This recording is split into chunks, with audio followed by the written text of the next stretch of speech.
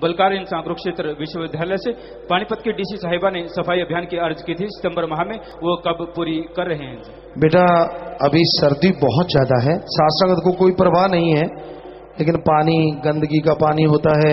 हमें तो इस चीज़ का ध्यान है कि भाई नहीं, और जैसे ही मौसम थोड़ा ठीक हो जाएगा तो फिर से सफ़ाई के महाअभियान शुरू करेंगे।